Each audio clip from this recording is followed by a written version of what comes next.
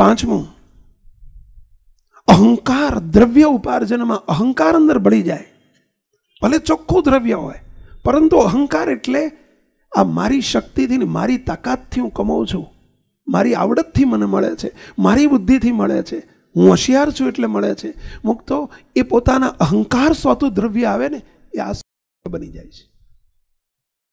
દૂધપાક ગમે એટલો સારો હોય, પણ અંદર એક ઝેરનું ટીપું પડી જાય ને, એટલે બધો દૂધપાક ઝેર કરી નાખે. એમ અંદર કોઈ દિવસ અહંકારને ન બળવા દો. ભલે શુદ્ધ દ્રવ્ય હોય, પરંતુ શુદ્ધ દ્રવ્યની અંદર જો આપણી અશુદ્ધિનો અહંકાર ઝેર મળી ગયો ને, એ ઝેર છે પોઈઝન છે. દેહાભિમાન અંદર આવી ગયું. હું ન હોઉં તો તમારું શું થાય? આ તો હું એટલે આટલું બધું થાય છે. હું જ કમાઈ શકું. સમજી લેજો, એ દ્રવ્ય આસુરી બની જાય છે. એ ભલે શુદ્ધ હોય તો પણ એ અશુદ્ધ થઈ જાય છે. છઠ્ઠો. મુક્તો. અપ્રામાણિકતા. અપ્રમાણિકતાથી આવતું દ્રવ્ય. ડિસઓનેસ્ટી. બીજા શબ્દોમાં કહીએ તો અણહકનું. એથી બીજા શબ્દોમાં કહીએ તો રૂશ્વતથી મળેલું દ્રવ્ય. મુક્તો. આસુરી દ્રવ્ય છે. ખતમ કરી નાખે. એ અપ્રમાણિકતાનું દ્રવ્ય છે. ઓનેસ્ટી નથી. આજે બધાએ મુક્તો. આપણે થોડોક આ પોઈન્ટ ઉપર આગળ વધવું છે. આ જ મુદ્દા ઉપર. બીજા બધા માત્ર તમને જણાવ છે, ક્યાંક તપાસતા જજો. દરેક સભામાં એક વાત અમે કરીએ છીએ કે તમે કોઈ દિવસ ઘઉં વીણેલા છે? ઘઉં સાફ કરેલા છે? થાળીમાં લઈને નથી મહિલાઓ કરતા? નાનપણમાં કે અત્યારે કોઈ દિવસ અવસર આવ્યો છે એવો કોઈ દિવસ? કેટલાય જિંદગીમાં એક વખત પણ વીણ્યા હોય એવા? જિંદગીમાં ક્યારેક પણ વીણ્યા હોય? અત્યારના વીણ્યા હોય, ભૂતકાળમાં વીણ્યા હોય? લગભગ બધાએ બરાબર છે? છે કાંકરા, પણ બોલાય છે વીણમાં બેઠા છે. આપણી ગુજરાતી ભાષા એવી છે ને?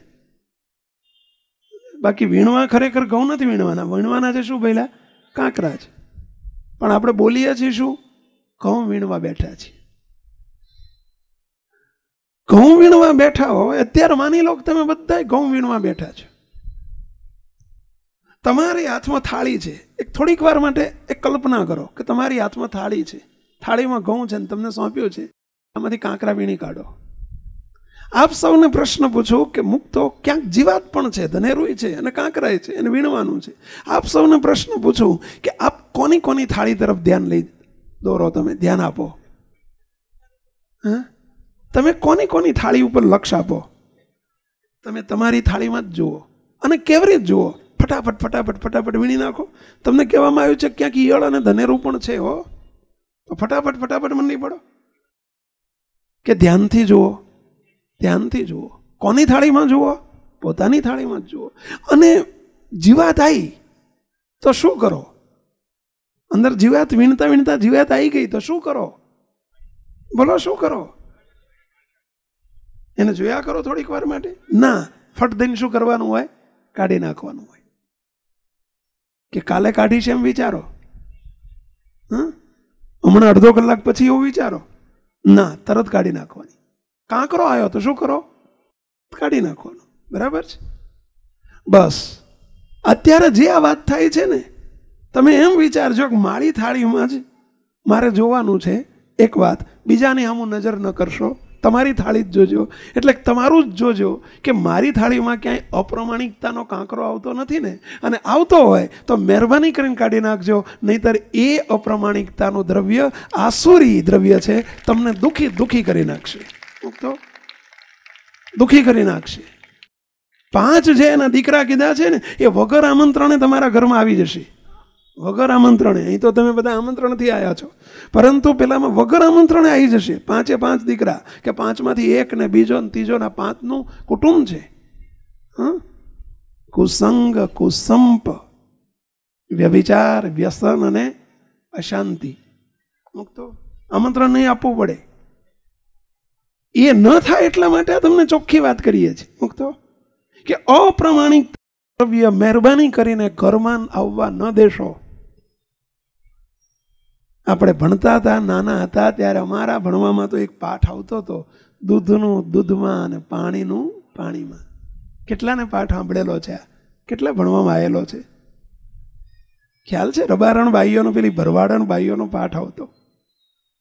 ખ્યાલ છે? બે ચાર ભરવાડણ ભાઈઓ હતી, સામે કાંઠે, નદીને સામે કાંઠે દૂધ વેચવા જતી.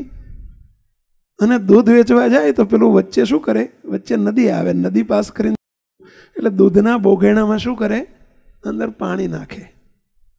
પાણી નાખે અને પછી વેચે. એટલે લીટરમાંથી હવા લીટર કે દોઢ લીટર જે એનું પ્રમાણ હોય એ કરતા હશે. સમજ્યા? અને પછી ત્યાં જઈને વેચે ને એમાં એક દિવસ દૂધના પૈસા આવ્યા હતા, ખિસ્સામાં મૂક્યા હતા. જ્યારે પાછા વળ્યા અને નીચા નંબર પેલું બોઘેણું સાફ કરવા ગયા, એમાં દૂધના જે પૈસા ખીચામાં હતા ને બધા શું થઈ ગયું? પાણીમાં પડી ગયા, નદીમાં જતા રહ્યા. એટલે પેલી બાઈ રડવા માંડી. ત્યારે કોઈ કે કહ્યું કે બેન રડશો નહીં, એ તો કાયદો છે. શું કાયદો છે? દૂધના, દૂધમાં અને પાણીના પાણીમાં. એટલે સમજ્યા? આ જે પાણીમાં ગયા એ શાના ગયા છે? પાણીના પૈસા હતા ને, એ પાણીમાં જ ગયા છે. મુક્તો સમજાણું કંઈ આમાં? જો આપણા ઘરમાં પણ પાણીના પૈસા આવતા હશે ને તો પાણીમાં જશે. તો બહુ ધ્યાન રાખજો. એ અપ્રમાણિકતાથી જો પૈસો ઘરમાં આવી ગયો, તો બહુ હેરાન કરશે.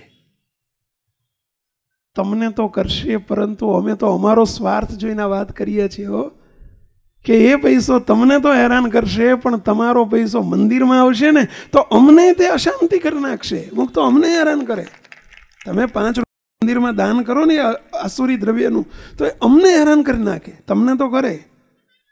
એટલે અમે થોડોક અમારો સ્વાર્થ છે હો. મહેરબાની કરીને તમારા ઘરમાં ગાલશો નહીં, આસુરી દ્રવ્ય પેસવા દેશો નહીં, અપ્રમાણિક પૈસો ઘરમાં આવવા દેશો નહીં. તમે નોકરી કરો છો, ધંધા કરો છો, કમાઓ તમતાર, તમે જે પગાર મળે છે, તમારો પ્રમાણિકતાનો પગાર છે. પરંતુ એથી વિશેષ બીજા વધારાના ફાયદાઓ મેળવવાનો પ્રયત્ન કરશો તો એ પ્રમાણિક પૈસો છે. અને એ પ્રામાણિક પૈસો તમને હેરાન કરશે અને દાન કરશો તો અમને હેરાન કરશે. જોડે જોડે વિનંતી કરી દઉં, એ પૈસો તમે ન લેશો અને એવો જ પૈસો ઘરમાં આવતો હોય તો અમને ના આપશો. અમને એટલે મંદિરોમાં ના આપશો. મુક્તો આ મારી વિનંતી છે. ના આપશો. તમે દુઃખી થાવ ને અમે દુઃખી થઈએ. ધંધો શા માટે કરવાની જરૂર છે? મુક્તો હકીકત છે. કારણ કે એક નહીં. આવા અનેક દ્રષ્ટાંતો જોયા છે. પ્રમાણિકતા કોને કહેવાય? એનું ફળ કેવું હોય? અને અપ્રમાણિકતા કોને કહેવાય? એનું ફળ કેવું હોય? મુક્તો હમણાં જે કહ્યું ને, એક તો દૂધનો દૂધમાં પાણીનો પાણીમાં. દ્રષ્ટાંત ઘણી વખત એક આપીએ છીએ કે એક ભાઈ હતા ચોરી કરવાનો એમને ટેવ પડી ગયેલી. એટલે એક વખત એક ઘોડી ચોરી લાયા. કોકની ઘોડી ચોરી આવ્યા થોડા દિવસ અઠવાડિયું, દસ દિવસ વાપરીને પછી એમણે વેચવા કાઢી. કારણ વાપરવા નહોતા લાયા. બિઝનેસ હતો હતો એમનો. ચોરીને પછી વેચી દેવી, ચોરી લાવે ને વેચી દેવી. તે ચોરી કરીને ઘોડી લાવ્યા ને પછી અઠવાડિયા પછી વેચવા કાઢી. એક ગ્રાહક આવ્યો એટલે કે, ભાઈ, હું ઘોડી લઉં, પણ શરત એટલી. શું? કે, મને બે આંટા મારવા દો. એમ નથી પેલા આપણે ત્યાં બાઇક લેવા જાઓ કે કંઈક નહીં, આંટો મારવા દો ટેસ્ટ કરવા દો. એટલે ટેસ્ટ કરવા દો.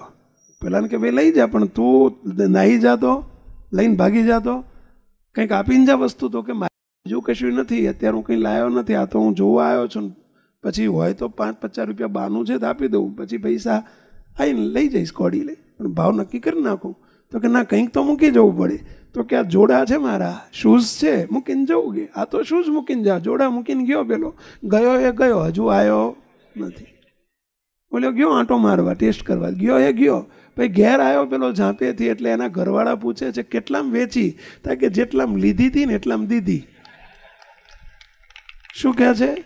જેટલામ લીધી હતી એટલામાં દીધી આ જોવાના નફો મળ્યો, કેટલો મળ્યો પહેલા આ જોડા જેટલો નફો. એ તો એમ જ જાય ને પેલા. પાણીનું પાણીમાં. હા? એ લીધી એટલામાં દેવાનું થાય. એ પૈસો કાં તો પછી ડૉક્ટરો જ લઈ જાય ને કાં તો વકીલો જ લઈ જાય ને કાં તો કોર્ટો જ લઈ જાય ને કાં તો એ શેરના કાગળિયા જ થઈ જાય ને કાં તો કોઈ ઘાલી જાય ને કાં તો ઝઘડામાં ડખામાં જ જાય. મૂકતો? એ તો પાણીનું પાણીમાં.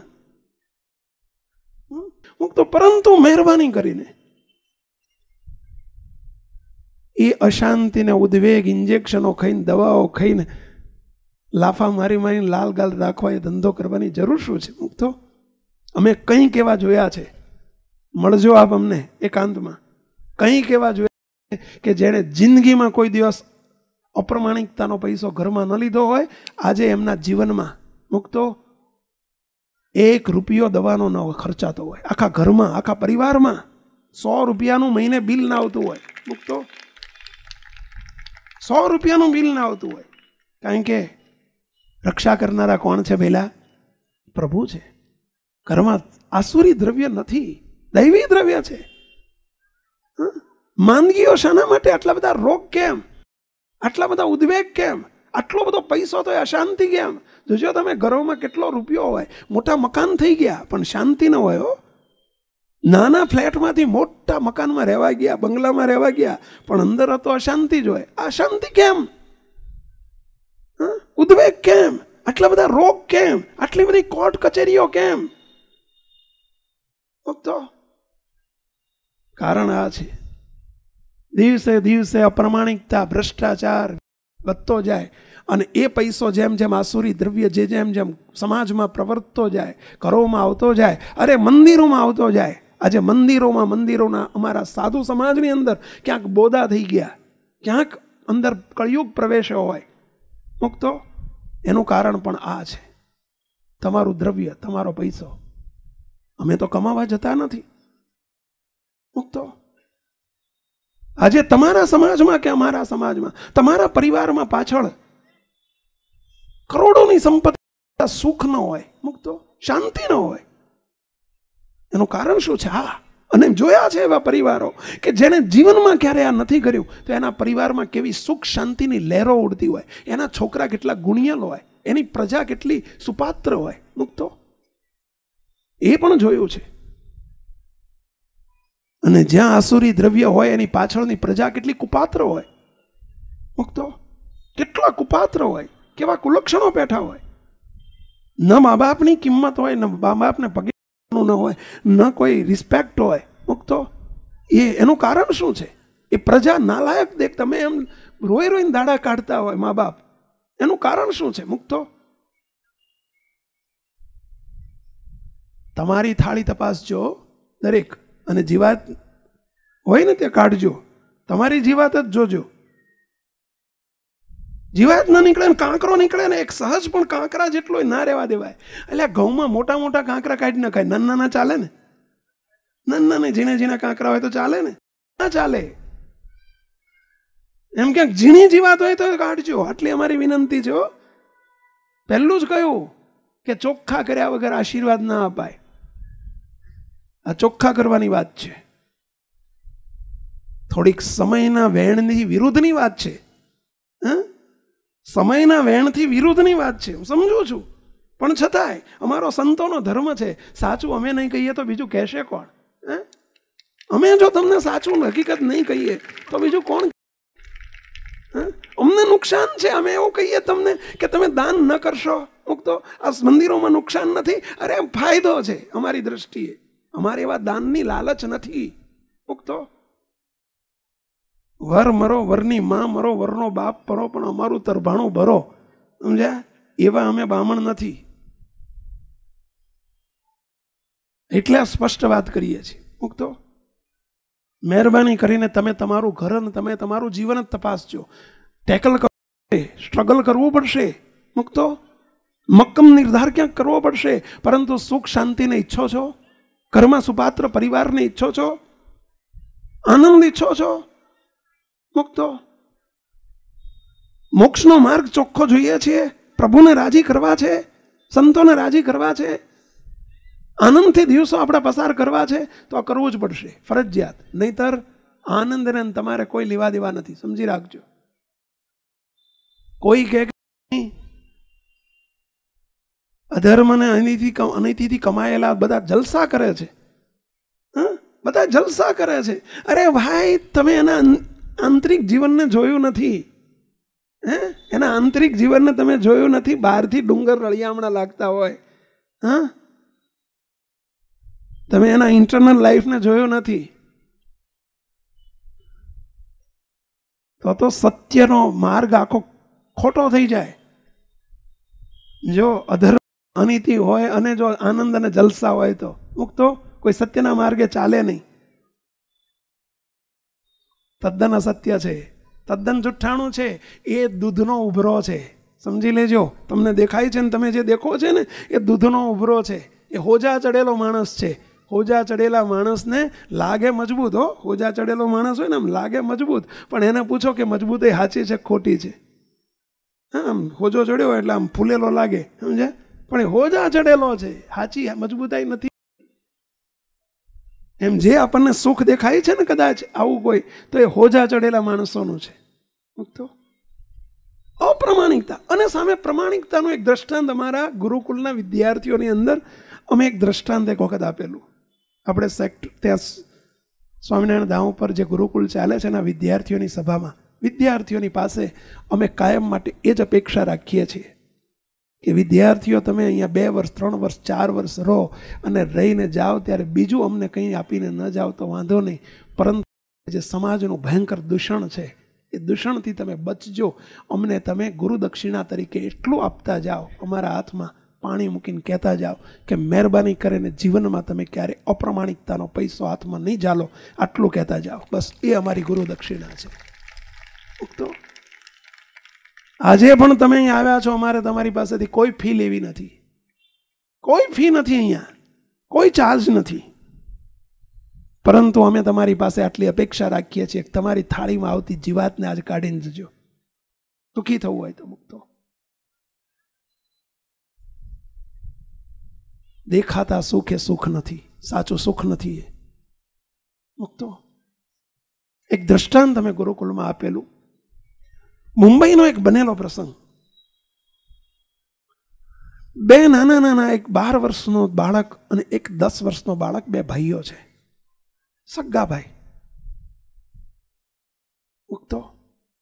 એ બંને સગા ભાઈ નાની ઉંમરમાં જ્યારે મોટો દીકરો આઠ વર્ષનો હતો, નાનો દીકરો છ વર્ષનો હતો, પોતાના મા બાપની સાથે, પોતાના મમ્મી પપ્પાની સાથે ક્યાંક ફરવા ગયા છે ને એમાં ભયંકર એક્સિડન્ટ થયો અને એક્સિડન્ટમાં બંને બાળકના માતા પિતા મૃત્યુ પામ્યા. મુક્તો? બે બાળકો નિરાધાર થઈ ગયા. એક્સિડન્ટ થયો, એમાં બહુ જ ગંભીર રીતે ઘવાયા. એના મમ્મી તો ત્યાં એક્સપાયર્ડ થઈ ગયા પણ એના પપ્પાને બહુ જ ગંભીર ઈજા થઈ હતી. દવાખાનામાં દાખલ કર્યા. હોસ્પિટલમાં હતા. બંને બાળકો બાજુમાં ઊભા છે અને મૃત્યુ પહેલા પિતા પોતાના બાળકોને બે સંદેશા આપે છે. મુક્તો ધ્યાનથી સાંભળજો. આ પ્રસંગ બહુ સાંભળવા જેવો છે. પિતા પોતાના બાળકને, બંને બાળકને માથે હાથ ફેરવતા થકા છેલ્લી ક્ષણના બે સંદેશા આપે છે. પિતા પોતાના પુત્રને કહે છે, મોટા પુત્રને, બેટા, મારા બે સંદેશા છે, તો ખાસ ધ્યાન યાદ રાખજે.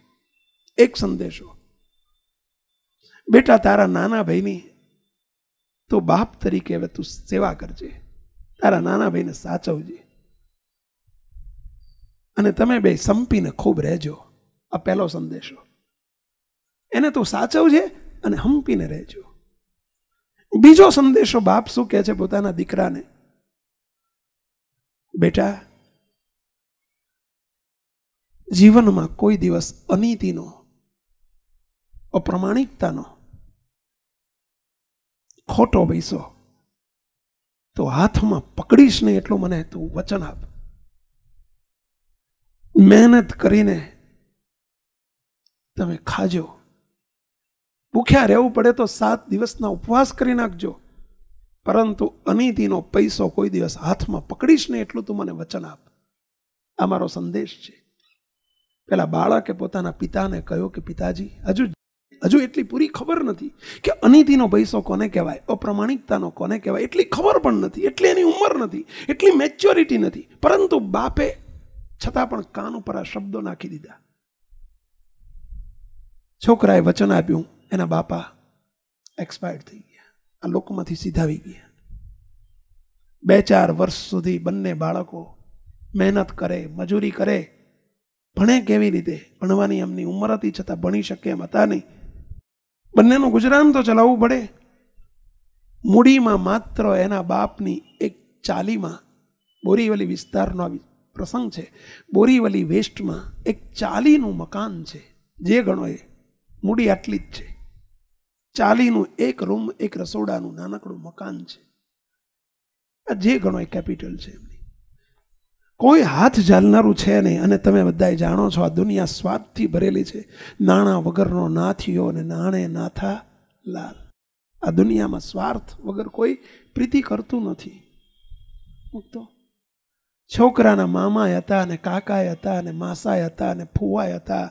પરંતુ નિરાધાર છોકરાઓનો હાથ કોઈએ ન ઝાલ્યો. અને બંને મહેનત કરીને, મજૂરી કરીને પણ પોતાનું ગુજરાન ચલાવે છે. એક દિવસનો સમય છે. બંને બાળકો શું કરે? રોજ દિવાસલી વેચે દિવાસલી માચીસ વેચે, માચીસ માચીસ. તો સવારે કોઈ હોલસેલ દુકાનમાંથી માચીસના દસ પંદર બોક્સ લઈ આવે. એટલે આખા મોટા બોક્સ હોય ને, ડઝનના આવે ને મને લાગે છે.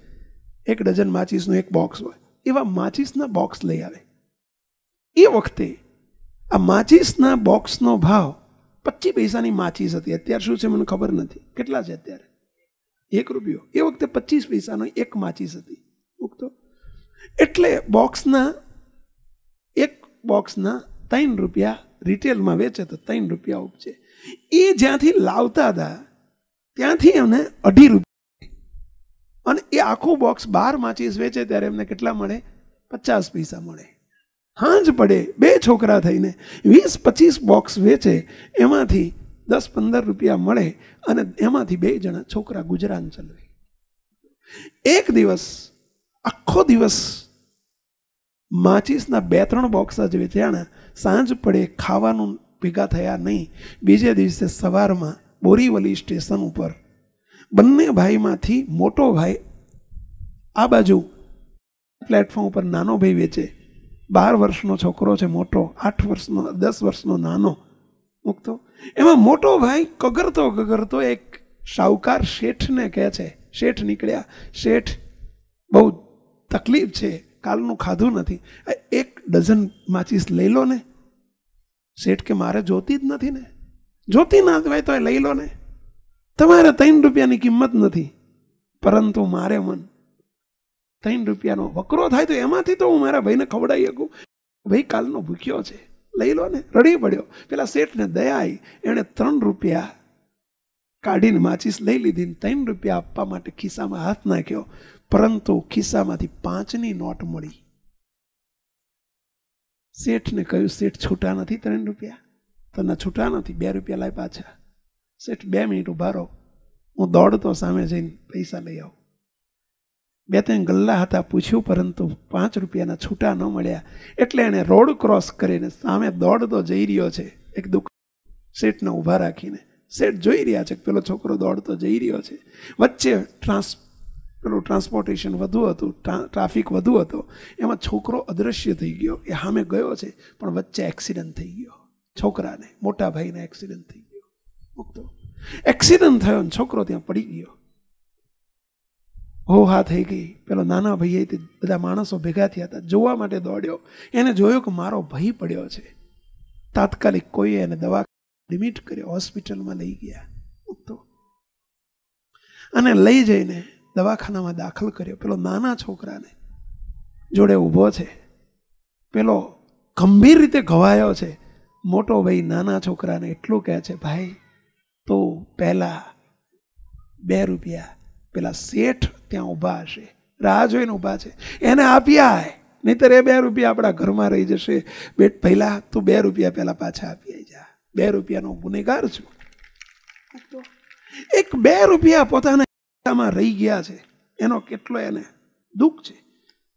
મૂકતો, છોકરો જઈને હવે કલાક થઈ ગયેલો આ વાતને એટલે પેલા શેઠ તો જતા રહેલા ગાળ્યો દેતા દેતા કે સાલા લંપટને લાવાર લબાડને આરા મારા બે રૂપિયા લઈને જતો રહ્યો, કંઈ નહીં કરીને શેઠ જતા રહેલા છોકરો પાછો આવ્યો, મોટા ભાઈ પાસે.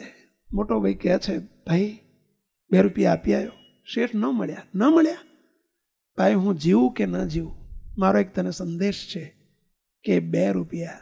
શેઠને તું હોદી રોજ આ સ્ટેશન ઉપરથી નીકળે છે, તું કાલ ઊભો રહેજે, બે રૂપિયા હોધીને આપી આવજે, હું બચું તોય ભલે ને ન બચું તોય ભલે, બે રૂપિયા સીટના ઘેર જઈને આપી આવજે, આટલો મારો સંદેશ છે. ઉગતો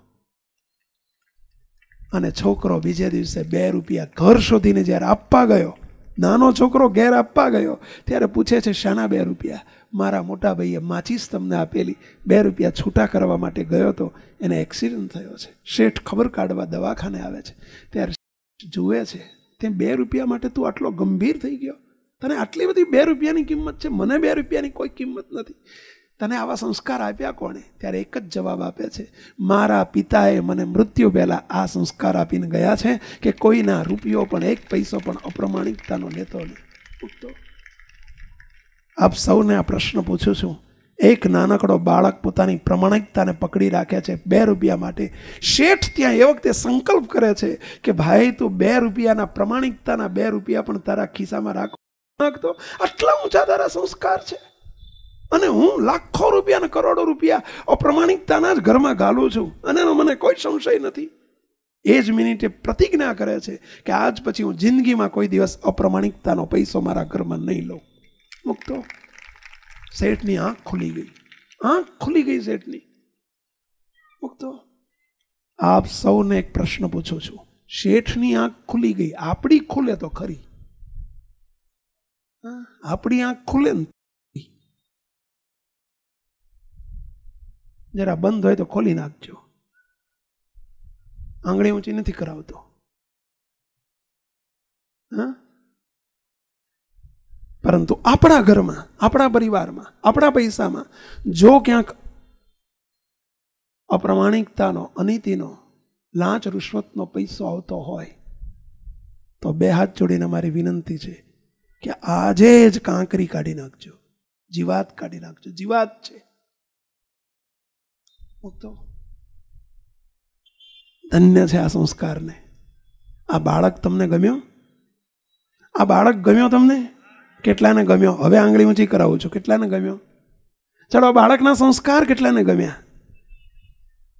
આપણે પણ આવા ન થઈ શકીએ. થજો, ના હોય તો. કહું છું સ્ટ્રગલ જરૂર કરવું પડશે. એક પ્રસંગ યાદ આવે છે, પરંતુ સમય હોય તો કહું. છે સમય સમય? દસ પંદર મિનિટનો સમય છે. તમે તૈયાર છો ને? દસ પંદર મિનિટ. વધુ વધુ મેક્સિમમ પંદર મિનિટ. રેડી કેટલા તૈયાર છો? આંગળી ઊંચી કરો છો. તમે તૈયાર નથી? તો ઠીક તો આપણે બહુમતીય કાયદો પસાર થાય છે ને ભારતમાં તો? આ વાત માત્ર તમારા માટે નથી, આપણા સૌના માટે છે. અમને પણ આ કહેવાનો અધિકાર ક્યારે છે? મુક્તો, આ કહેવાનો અધિકાર અમને ક્યારે છે? ઇંગ્લિશ કોણ ભણાવી શકે? જે ઇંગ્લિશ ભણેલો હોય. બરાબર છે? ગણિત કોણ ભણાવી શકે? જે ગણિત ભણેલો હોય. વ્યાયામ કોણ શીખવાડી શકે? વ્યાયામ આવડતું હોય. સંગીત કોણ શીખવાડી શકે? સંગીત આવડતું હોય. ચોખ્ખી વાત છે ને ભાઈ એમ અમે આ વાત તમને કરી શકીએ છીએ. માત્ર અમારે વાતમાં જોઈને જો અમારા વર્તનમાં નહીં હોય તો નહીં ચાલે. અમારે ના ચાલે. તો આ વાત માત્ર તમારા માટે નથી. અનીતિનો અધર્મનો પૈસો અપ્રમાણિકતાનો પૈસો અમે પણ તમે સંતોના વચને, સંતોના વિશ્વાસે મંદિરોમાં, સંસ્થાઓમાં લાખો રૂપિયાના દાન અને ડોનેશન કરતા હો છો. મૂકતો અને જોઈએ પૈસાનો. અમે પણ મોજ, શોખ અને રંગ રાગમાં જો કરીએ તો મુક્તો એ અમને પણ ન પચે. ન રાજી થાય પ્રભુ. મુક્તો. સહન કરવો પડે. અમારા માટે ને તમારા માટે બધા માટે જરૂરી છે. મુક્તો. જીવન ભલે સાદું જીવવું હોય પણ જીવવું પડે તો જીજો, જીવજો. પરંતુ આ તો જે દુઃખ આવવાનું છે, કષ્ટ આવવાનું છે કે ભાઈ નહીં મટે, દવા નહીં મટે, રોગ નહીં મટે, ઘરમાંથી અશાંતિ નહીં મટે, ઉદ્વેગ નહીં મટે, કોર્ટ કચેરીઓ નહીં મટે. એ તો આલોકના દુઃખ છે. પરંતુ ભગવાન સ્વામિનારાયણે, શ્રીજી મહારાજે ભગવાન સ્વામિનારાયણે એક બહુ અદ્ભુત પ્રસંગ ઊભો કરેલો એક વખત. સ્વામિનારાયણ ભગવાન વડતાલ પધારેલા. તો સાંભળવા જેવો પ્રસંગ છે. વડતાલ પધારેલા અને વડતાલમાં સ્વામિનારાયણ ભગવાન નવમીનો સમય હતો. ચૈત્ર સુધી નવમીનો સમય હતો. સમયો પત્યો, બીજો દિવસ હતો, દસમનો દિવસ હતો. સ્વામિનારાયણ ભગવાન સભામાં બેઠા છે, વિશાળ મોટી સભા છે. હરિભક્તો આ બાજુ બેઠા છે, સંતો આ બાજુ બેઠા છે. સંતો પણ બસો, પાંચસો સંતો હતા, સમયો હતો એટલે. અને હજારો હરિભક્તો હતા. સ્વામિનારાયણ ભગવાને એ વખતે, સમયા વખતે એક લીલા કરી. એક પ્રસંગ ઊભો કર્યો. સ્વામિનારાયણ સંતોમાં બેઠેલા નૃસિંહાનંદ સ્વામી નામના સંત, જેમનો નૃસિંહાનંદ સ્વામી એટલે નરસિંહાનંદ સ્વામી, એમને ઉર્ફે નરસિંહાનંદ સ્વામી કહેતા. નૃસિંહાનંદ સ્વામી એમનું નામ હતું. નરસિંહાનંદ સ્વામીને બેઠા હતા, એમને ઊભા કર્યા. ઊભા કરીને ભગવાન સ્વામિનારાયણ કહે છે કે, હે નરસિંહાનંદ સ્વામી, તમારા જીવનમાં વર્ષો પહેલા વૃંદાવનની ભૂમિ ઉપર જે પ્રસંગ બન્યો હતો ને, એ કો, આ સભા વચ્ચે કો.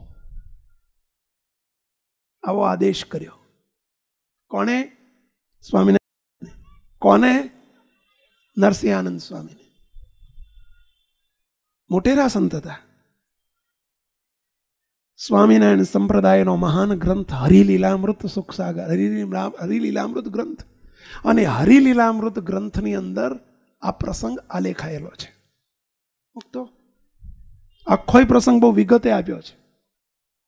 વિહારીલાલજી મહારાજ રચિત વડોદરાના ધર્મધુરંદર આચાર્ય વિહારીલાલજી મહારાજે આ ગ્રંથ રચેલો હરિમૃત અને એ ગ્રંથમાં આ મહારાજ સ્ત્રીએ કાનો કાન સાંભળેલી વાત અહીંયા લખી નાખી છે, આ પ્રસંગમાં. મુક્તો બન્યું એવું. નરસિંહાનંદ સ્વામીને કહેવામાં આવ્યું સ્વામી, તમે જે વૃંદાવનની અંદર વર્ષો પહેલા ભૂતકાળમાં તમે જે પ્રસંગ નજરે જોયો છે ને, આ સભામાં કહો. મહારાજ કે, સર્વે સંતો હરિભક્તો, ધ્યાનથી સાંભળો. અત્યારે પણ ધ્યાનથી સાંભળજો સંતોએ સાંભળજો તોય સાંભળજો. બીના કેવી બની? નરસિંહાનંદ સ્વામી હાથ જોડીને ઊભા થયા અને હાથ જોડીને કહે છે, પ્રભુ સભા વચ્ચે કહું? હા સભા વચ્ચે કહો. આ સમગ્ર સત્સંગ સમાજ માટે બહુ જરૂરી પ્રસંગ છે. નરસિંહાનંદ સ્વામી પોતાનું આખ્યાન કહે છે, એટલે બનેલો પ્રસંગ કહે છે. વર્ષો પહેલા બનેલી વાત કહે છે. નરસિંહાનંદ સ્વામી કહે છે કે હું પહેલા પરોક્ષ દેવસ્થાનમાં એક મંદિરમાં હું સાધુ હતો, પૂજારી હતો, પૂજા કરતો હતો. અને એમાં સવારના સમયે ભગવાનના શણગાર સજતો હતો, પૂજારી તરીકે. પડદો, પડદા વાખેલા હતા, એટલે કે પડદા બંધ હતા. ભગવાનના શણગાર સજવાનું કામ ચાલતું હતું અને એમાં બહાર બે, ચાર સાધુ સંન્યાસીઓ બેઠેલા. મંદિરમાં આવીને અજાણ્યા. એ અંદર અંદર વાતો કરે છે કે આમ ગુજરાત મેં ગયે થે बीजो पूछे थे बीजा संत पूछे तुम कहाँ गए थे हम यूपी में घूमते अभी तुम कहाँ घूमते हम गुजरात से आए बात करता करता बात करे थे गुजरात में अभी गढ़पुर नामक गांव है न वहाँ स्वामी नारायण नाम का भगवान प्रकट हुआ है और इस स्वामी नारायण को जीवन मुक्ता भी बोला जाता है और इस स्वामीनारायण संप्रदाय नया शुरू हुआ है એ વખતે સ્વામિનારાયણ સંપ્રદાય નવો નવો થયેલો એટલે એની વાત કરી રહ્યા છે અને જ્યાં સ્વામિનારાયણ શબ્દ આવે ને ત્યાં એ જ વખતે મંદિરમાં, એકદમ આખા મંદિરમાં પ્રકાશ થાય. જેમ સૂર્યનો ઝબકારો થાય ને, વીજળીનો ઝબકારો થાય ને, એમ એકદમ પ્રકાશ થાય. જ્યાં સ્વામિનારાયણ શબ્દ બોલે ને, વાતમાં, અને ત્યાં એકદમ પ્રકાશ થાય. પ્રકાશ થાય એટલે અંદર પડદાની ઓઠે ઠાકોરજીની પૂજા કરતા કરતા પૂજારીને પેલો પ્રકાશ અંદર પણ પેલો ઝબકારાનો ખ્યાલ આવે. એટલે એ વારંવાર જો શાનો ઝબકારો થયો, એટલે કરી આમ આડો કરી અને જુએ કે આ ઝબકારો શાનો થાય છે. અત્યારે આકાશ ચોખ્ખું છે, વીજળી થતી નથી, તો આ પ્રકાશ ઝબકારો શાનો થાય છે. બે, ત્રણ વખત જોયું, પછી એમણે બહુ ચિત્ત દઈને જોયું કે આરું આ શું છે? તો એમણે જોયું જ્યારે જ્યારે સ્વામિનારાયણ શબ્દ બહાર બોલાય ને, એ વખતે શબ્દ જ્યાં બોલાય ને પ્રકાશ થાય, શબ્દ બોલાય ને પ્રકાશ થાય. સ્વામિનારાયણ શબ્દ આવે ને પ્રકાશ થાય. એટલે આ સંત આ નરસિંહ નરસિંહાનંદ સ્વામી પોતે વિચાર કરે છે કે હું જેનું નામ સાંભળું છું અને નામ સાંભળતાની સાથે આટલો બધો નામમાંથી પ્રકાશ થાય છે, તો એ ભગવાન કેવા હશે? મુમુક્ષુ હતા એટલે એમણે ત્યાં રાજીનામું મૂકી અને મારે આ સ્વામિનારાયણ ભગવાનને શોધવા છે. એમનો આશરો કરવો છે. એમ જાણી પોતે ગુજરાત તરફ આવવા નીકળ્યા છે. એ વાત કરે છે, હે સંતો, હે હરિભક્તો, હું એકલો, એક થઈ, મારે જોડે બે જોડે કપડાં હતા, હાથમાં જોડી હતી. જોડીમાં એક મારું પત્ર હતું, એટલે પાત્ર જમવાનું પાત્ર હતું કાષ્ટનું. તુમડી હતી અમારી, સંતોની જોડે બીજું શું હોય? અને હું ત્યાંથી ચાલતો ચાલતો અને પહેલાંના જમાનામાં ગાડીઓનો જમાનો નહોતો, લોકો શામાં જર્ની કરતા, ચાલતા. તો ચાલતો ચાલતો નીસર્યો છું. ગુજરાત તરફ આવવા.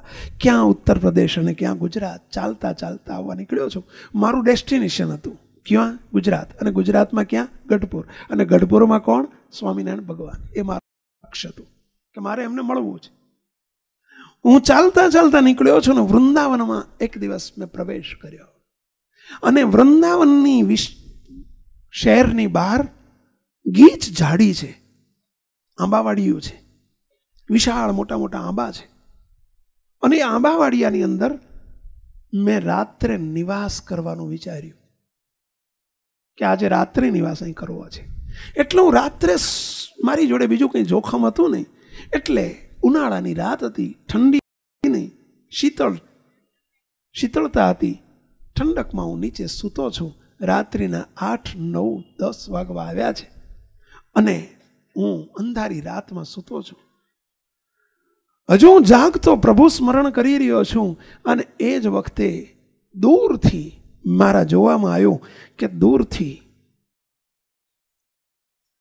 ઘોડા ઘોડાગાડીઓ હાથી અને રથ સિગ્રામ ગાડા મશાલો આગળ. પહેલાના જમાનામાં લાઇટો નહોતી, પેલી મશાલો સળગતી. તો મશાલો આ બધું દેખાવા માંડ્યું. અરે ઢોલી ઢોલ નગારા વાગવા માંડ્યા. આગળ મશાલોવાળા આવી ગયા. અજવાળું થયું. બધા મારી તરફ આવી રહ્યા હતા. હું જોઈ રહ્યો છું કે આ કોઈક સંઘ નીકળ્યો લાગે છે. કોઈક જાત્રાનો, યાત્રાળુનો સંઘ નીકળ્યો લાગે છે. દૂરથી ખબર નહોતી પડતી, પણ જ્યાં નજીક આવ્યા. અને નજીક આવતા જોયું તો મારી પડખે જ મારી બાજુમાં બહુ મોટો એક વિશાળ, એ પણ મોટો વૃક્ષ હતું. અને એની નીચે આવીને બધાએ ઉતારા કર્યા. જોયું તો ત્યાં આવીને પ્રકાશની અંદર મશાલના પ્રકાશમાં કોઈ ચૂલા ખોદવા માંડ્યા. કોઈએ ગાદી તકિયા બિછાવવા માંડ્યા. ગાડાઓ આવ્યા. અંદરથી માલ સામાન ઉતારવા માંડ્યો. વાસણોના મોટા મોટા ગાડા આવ્યા. મોટા વાસણો ઉતરવા માંડ્યા. બળતણ આવ્યું. સીધું સામાન આવ્યા. એક બાજુ રસોઈ ચાલુ થઈ ગઈ. પચીસ પચાસ જણા આવ્યા. પાછળ હાથી ને ઘોડા આવ્યા. હાથી ઉપર મોટા મોટા મંદિરોના કોઈ મહંત કોઈ ઘોડેસવારો કોઈ મહંત કોઈ સાધુ સંતો કોઈ જોડે મોટા હરિભક્તો અને એમનો પણ મોટો સંઘ આવ્યો. અને બસો, પાંચસો માણસો ભેગું થઈ ગયું. ત્યાં મોટી સભા, મોટું જ્યારે સ્થાન થઈ ગયું. વ્યાસપીઠ ગોઠવાઈ ગઈ.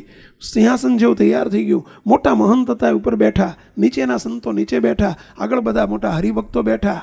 સભા ચાલુ થઈ ગઈ. કીર્તન ભક્તિ ચાલુ થઈ. સત્સંગ ચાલુ થયો. હું બધું સૂતો સૂતો આ બધું જોયા કે કોઈક મોટા મંદિરના મહંતો આવ્યા લાગે છે અને સંઘ લઈને આવ્યા લાગે છે. એક બાજુ રસોઈ બનાવવાનું ચાલુ થઈ ગયું. રસોઈ બે કલાકમાં તો દાળ, ભાત, શાક, લાડુ બધું સરસ રસોઈ તૈયાર થઈ ગઈ. અને રાતના બાર વાગ્યા હશે અને ત્યાં તો બધા ભૂખ્યા હતા. સભાનો હરે થયો અને બધાએ જય બોલાય ચલો બધા જમવા માટે બેસી જાઓ. પંગત પડી ગઈ. પંગત પંગત પડીને પંગતમાં એ જમાનો બુફેનો નહોતો, પંગતનો જમાનો હતો. એટલે પંગત પડી ગઈ. અને પંગતમાં પીરસાઈ ગયું. પતરાળા મુકાઈ ગયા. પતરાળાની અંદર દાળ, ભાત, શાક, બીજું ત્રીજું બે ચાર પાંચ વસ્તુ બધી અંદર ગોઠવાઈ ગઈ. બધા જમવાની તૈયારી કરે છે. ભજીયા હતા, પૂરી હતી, આ બધું ખૂબ બનાવેલું સારું સારું. અને મને તો પણ ભૂખ તો લાગી હતી, પણ હું તો ભૂખ્યો ને ભૂખ્યો હૂતો છું. આપણને વગર આમંત્રણે તો જવાય નહીં. હે? એટલે હું સૂતો છું. નરસિંહાનંદ સ્વામી પોતાના સ્વમુખે વાત કરી રહ્યા છો. હું સૂતો છું. પેલા બધા જમવા બેઠા છે, પંગત પડી છે, સાધુ સંતો બેઠા છે, હરિભક્તો પણ બેઠા છે. બધા જમવાની જય બોલાય. હજુ તો પીરસાતું હતું અને એ વખતે પંગતમાં મારા દસ જ ફૂટ છેટે, પાંચ હાથ છેટે એક સાધુ સંત બેઠેલા. એમણે મારી તરફ આમ નજર કરી કે હું હૂતો છું, હું પણ સંત હતો. એટલે મને દયા આવી. એટલે એમણે ઊભા થઈ મારી પાસે આવ્યા. આવીને મને પગે હાથ અડાડીને કહ્યું, સાધુરામ ચલો તમે પણ જમવા બેસી જાઓ. ચલો જમવા. તમે પણ સંત છો, અમારી જોડે બેસી જાઓ. એટલે મને ભાવતું તું મળ્યું. એટલે કે ઈચ્છા તો હતી જ, ભૂખ તો લાગી જ હતી. અને એમાંય આ બધું આજે ઘણા દિવસે જોયું હતું લાઈને આજે જમવાનું કંઈક સારું મળશે ને આમંત્રણ મળ્યું. એટલે હું તો દડ થઈને ગયો. ઊભો થઈને હું પંગતમાં બેસી ગયો. સામે એક પંગતમાં જગ્યા હતી બેસી ગયો મારી આગળ પણ પેલું પતરાળું આવ્યું. પતરાળામાં વસ્તુ વાનગીઓ પીરસાઈ ગઈ. હજુ જ્યાં જય બોલાય જમવાની અને હું જ્યાં મુખમાં લઈને જમવાની શરૂઆત કરવા જઉં, ત્યાં તો મારી બાજુમાં બેઠેલા એક સાધુ સંતે કોઈ સાંભળે નહીં, એમ મારા કાનમાં ધીમે રહીને કહ્યું, સંત સાધુરામ, જમતા નહીં. કાનમાં ધીમે રહીને કહ્યું, જમતા નહીં. એટલે મને આશ્ચર્ય થયું, કેમ? અમે બધા જમીએ છીએ, તમે જમતા નહીં. કેમ? કોઈ ન સાંભળે મેં એણે મારા કાનમાં ઈશારો કરીને કહ્યું, આ ખોરાક નથી. આ તમે જે જમવાનું, તમે જુઓ છો ને સામે, ખોરાક નથી. આ ભોજન નથી. તો કેમ ભોજન છે ને? આ બનાવ્યું ને બધાએ? વિષ્ટા છે. આ માંસ છે. આ લોહી છે. આ ખોરાક નથી. હવે દેખાય છે આંખે દાળ, ભાત, શાક, લાડુ. પૂરી ભજીયા, આ બધું દેખાય છે અને પેલા સંત બાજુમાં બેઠા બેઠા એમ કહે છે કે આ માંસ છે, પાસ છે, પરુ છે, હાડકા છે, અવિષ્ટા છે. શું સમજવું? નરસિંહ આનંદ સ્વામી કે પણ મને દેખાય છે, મારી પર વિશ્વાસ રાખો. જમશો નહીં. તમને વિશ્વાસ ના આવતો હોય તો હું તમને કહું એટલું કરો. તમે તમારા ઓઢેલું ગાતડિયું ભગવું વસ્ત્ર છે, એમાં થોડી થોડી વસ્તુ લઈ બાંધી દો. ઊભા થઈને ઉઠી જાઓ. અમે જેવા અહીંથી જઈએ ને જમીન તરત અમે નીકળવાના છીએ. જઈએ ને પછી તમે ખોલજો, અમારી હાજરીમાં ખોલતા નહીં. હું જે તમને કહી રહ્યો છું એ જો નીકળે તમારા કપડામાંથી, તો માનજો કે હું સાચો છું. હું દયા આવે છે એટલે કહું છું જમતા નહીં. તો પેલા પૂછે છે, સંત નરસિંહાનંદ સ્વામી મેં પૂછ્યું, તો તમે કોણ છો? આ તો તમે કીધું કે હાડ, માંસ, રુધિર છે, વિષ્ઠા છે. તમે કોણ છો બધા? ત્યારે પેલા સંત બેસીને કહે છે, અમે બધાએ તમને દેખાઈએ છીએ, સાધુ, સંતો, મહંતો, અને બધા દેખાય છે તમને મોટા મોટા હરિભક્તો. પરંતુ અમે બધા ભૂતિઓને પામેલા બ્રહ્મ રાક્ષસો છીએ. અમે બધા ભૂતની આ ભૂતાવળ છે. આ બધી તમને દેખાય છે ને, ભૂતની ભૂતાવળ છે. ભૂત? ભૂતની ભૂતાવળ? આ થયું કેવી રીતે? તમે કેવી રીતે ભૂત બન્યા? કેવી રીતે બ્રહ્મ રાક્ષસ બન્યા? શું થયું આ બધું? અને ત્યારે પેલા જોડે બેઠેલા સંત કહે છે, સ્વામીજી, આ નરસિંહાનંદ સ્વામીને કહે છે, સ્વામીજી, અમે બધા મોટા મોટા મંદિરોના મહંતો હતા. અમે સાધુઓ હતા. અને હરિભક્તો મોટા કોઈ કોઠારીઓ હતા, કોઈ હરિભક્તો હતા, આગળ આવીને બેસતા હતા, બધું કરતા હતા. પરંતુ એમના ઘરમાં ધર્મનો પૈસો ખૂબ આવ્યો અને એ પૈસાના અમને દાન કર્યા. અમે એ પૈસાનું ખાધું. અમારી પણ બુદ્ધિ ભ્રષ્ટ થઈ ગઈ. અમે ઠાકોરજીના પૈસે જલસા કર્યા એટલે અમારી આ દશા થઈ. અને આ બધા અધર્મ અનિતિના પૈસા ઘરમાં ઘાલ્યા. એમણે એ પૈસા આસુરી દ્રવ્ય ખાધું, ખવડાયું, એની આ દશા થઈ.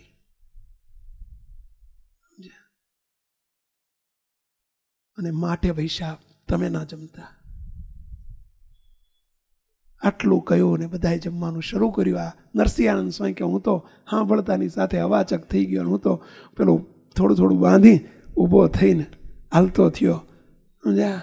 હવે ખાવાની ઈચ્છા થઈ પેલા અને હું તો જઈને હોઈ ગયો. બધા ઊભા થઈને હળુડુડુ કરતા ને પછી તો દસ મિનિટમાં બધું સમેટાઈ ગયું બધું અલોપ થઈ ગયું અદ્રશ થઈ ગયું. આ તો બધી માયાની, માયાવી જાળ હતી બધી. હા? બધું કંઈ હતું જ નહીં જાણે. ચૂલોય નહોતો ને ચૂલી નહોતો ને વાહણે નહોતા ને કુશણે નહોતા ને કશું નહોતું. બધું પંદર મિનિટમાં તો બધું ઝબકારો થઈ ગયો એમ, ઝબકારો થઈ ગયો. અને જ્યાં ગયા પછી મેં જ્યાં પેલું લુગડું લાય સાચું છે ખોટું જોવું તો ખરો. અને જ્યાં ગાંઠે બાંધ્યું હતું ને બે ચાર ભજીયા ને બે ચાર એક બે પૂરી ને એકાદો લાડુ ને બધું બાંધ્યું હતું, એ બધું જ્યાં છોડ્યું, ત્યાં અંદરથી માંસ, મટન, લોહી, હાડકું વિષ્ટા અમે આ નજરો નજર જોયું અને મને એમ થયું, કર આસુરી દ્રવ્યનો આટલો બધો વિનાશક, આનું આટલું બધું વિનાશક છે? અને આટલું બધું સહન કરવું પડે? તો મહારાજ, મેં નજરો નજર જોયેલું છે અને ત્યાં સ્વામિનારાયણ ભગવાન કહે છે, સભાજનોને, હે સભાજનો, તમારી થાળીમાં જીવાત આવી હોય તો કાઢી નાખજો. એટલે સમજ્યા? થાળીમાં જીવાત આવી હોય તો કાઢી નાખજો એટલે સમજ્યા? શું સમજ્યા કહો જોઈ. જો તમે આમાંથી કંઈ પણ આમાં આવી જતા હોય ને તમને લાગુ પડતું હોય, તો મહેરબાની કરીને સુધારો કરી નાખજો. નહીતર આ દશા થશે